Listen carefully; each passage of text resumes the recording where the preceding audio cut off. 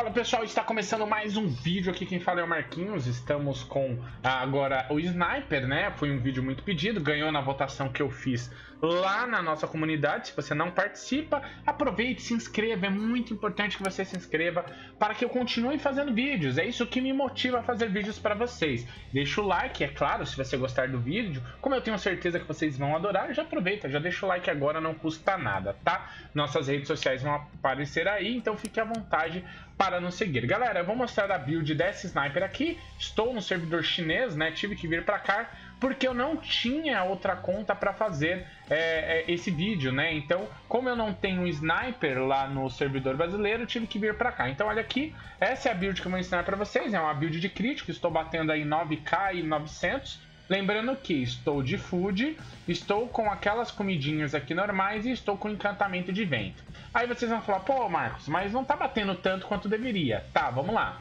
Primeiro, que esse sniper aqui é um sniper que eu fiz uma gambiarra, porque minha conta aqui no chinês é um AB, não um sniper. É, não estou carteado, não tenho nenhuma carta nos meus equipamentos. Muitos dos equipamentos que eu preciso eu não tenho aqui, então eu meio que fiz uma adaptação, né? Mas mesmo assim a build é muito boa, né? Com as cartas certas, com as runas certas, ela vai bater absurdo. Essa é a build que os filipinos usam. Então, começando aqui pelos atributos, galera, nós temos é, 70 de age, Dex 65 e 56 de Luck. Conforme o tempo for passando, nós vamos aumentar um pouquinho de Luck e um pouquinho de Dex. Referente à Age, nós vamos compensar com Foods tá? E com equipamentos de velocidade de ataque que já já vocês irão ver. Pessoal, então vocês viram que está batendo muito bem. Eu vou falar das habilidades aqui rapidamente para vocês, tá? Sem perder muito tempo. Então nós temos aqui On Eye é, no level 10, que vai aumentar sua destreza em 10 pontos. Nós temos aqui Beauty Eye, que aumenta o alcance e o acerto, é, que na verdade é a precisão. É, nós temos aqui Aaron Shower, que é, vai ser a habilidade que vai limpar o mob para você, e finalizando as habilidades de arqueiro com Flash Elemental, que aumenta o ataque e o seu auto-ataque. Depois vocês deem uma olhada aí na descrição da habilidade. Já nas habilidades de Hunter, nós temos concentração no 10, tá? aumenta a sua age e porcentagem de destreza. Nós temos flecha dividida no 5, que é pré-requisito para Heavy Arrow, que aumenta o seu ataque durante 30 segundos. Então, assim, galera, eu tô falando rápido para que o vídeo não fique tão extenso. Depois vocês deem uma conferida na descrição da habilidade para que vocês entendam. Eu tô trazendo a build mastigadinha para vocês. Agora é só vocês darem uma lida para vocês entenderem como ela funciona. Nós temos aqui Blitz Beat no 10, tá? Chance do Falcão atacar é, aumenta e também aumenta o dano, tá? E nós temos aqui por último Beastmaster no 5 que aumenta o dano da besta. Toda vez que eu falar besta, galera, eu tô falando do Falcão, tá? Indo agora para as habilidades de Sniper, nós temos 10 de True Sight, que é essa habilidade aqui. Ela aumenta o seu ataque e aumenta o seu crítico. Nós temos essa habilidade aqui, que é uma das mais importantes. Esse, é, você vai deixar um level 5, Fat Awakening, aumenta a chance de crítico e o ataque da sua besta, no caso o ataque do seu falcão.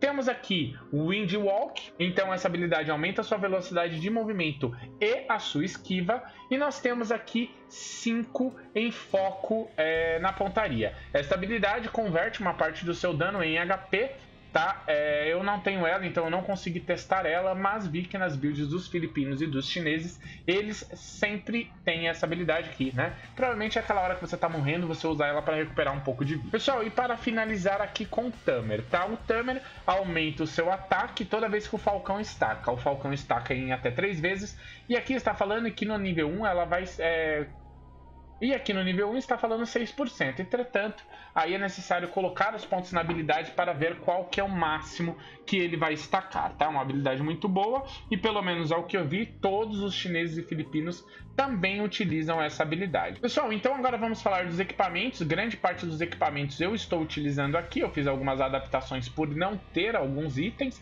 mas vou falar para vocês agora. Então, o arco, nós utilizaremos o arco Malagdo, te dá luck mais 5, crítico damage mais 15%, e quando a sua sorte, né, quando a sua luck atingir 90 pontos, aumenta 10% o seu dano em ataque crítico. Quando o aprimoramento estiver mais 5, mais 10, mais 15, o dano por ataque crítico aumenta mais 5%, mais 5% e mais 15%, e ainda tem um combo com uma armadura que depois eu vou mostrar para vocês. Lembrando que este arco aqui é o melhor para snipers de crítico, com essa build aqui que eu estou mostrando para vocês. E esses bônus aqui são bônus acumulativos. Nós temos aqui na sequência a Sniping Suit, é, te dá velocidade de ataque mais 6%, Flee mais 25%, e aí tem os bônus de quando você atinge uma certa quantidade de Luck. Coisa importante, ela comba com o seu arco. Lembrando que as duas precisam estar no Tier 4, tá? É necessário que você dê os upgrades tanto da armadura quanto do arco para conseguir esse bônus aqui, que é Age mais 5 e dano crítico mais 10%. Já a capa, galera, não teve muita capa assim que eu falo, uau, que capa incrível. Então, na build dos filipinos, eu vejo que eles utilizam a Blue Eve Cape, tá? Aumenta a sua velocidade de ataque simplesmente por conta disso. E ela é fácil de deslotar, tá? Então, eh, você pode colocar aí uma carta que, consequentemente, vai te trazer mais def, como por exemplo a Hydrick. Nós temos aqui a bota, tá, galera? A bota te dá velocidade de movimento mais 9%, AG mais 6, HP mais 500. E aí, se ela estiver combando aí, com ela te dá mais bônus. Entretanto, nós não utilizaremos esse combo porque a Cat's Blessing nós não utilizamos nessa build, mas é a melhor bota. Lembrando que aqui ela está aprimorada. É necessário que você faça a bota TED Shoes que você faz lá em Pion, tá? E depois você transforma para Advanced Stack TED Shoes. Nós temos aqui os acessórios agora, galera. Os acessórios complicam um pouquinho, porque fica um tanto difícil conseguir alguns deles, que é a Firing Bottle. A Firing Bottle, galera, é um equipamento que cai do Hachi, dificílimo, né, de, de, da galera conseguir solar ele agora, a não ser que seja na torre. Ele te dá ataque mais 94, precisão mais 20 e o seu ataque tem 5% de chance, toda vez que você bate, de adicionar o efeito Fire Burst o Fire Burst aumenta o seu crítico em 100% durante 3 segundos. Ou seja, tô batendo aqui, certo? Tô batendo, tô batendo. Ativou a habilidade, pum, meu dano sobe aqui no caso, né, para quase 20k. Galera, lembrando que isso aqui estaca toda hora devido à alta velocidade que essa, esta build ela utiliza. Temos aqui o segundo acessório, o segundo acessório fica a sua preferência, né? Eu sempre aconselho o Anel de Força por conta do bônus que ele dá de ataque quando ele chega no Powerful Ring, tá? Então acho uma opção bem viável, mas se você tiver um outro acessório que tiver um bom encantamento, sucesso! Galera, já o escudo não tem para onde correr, você vai ter que matar a abelha rainha para dropar o Niles Bracelet.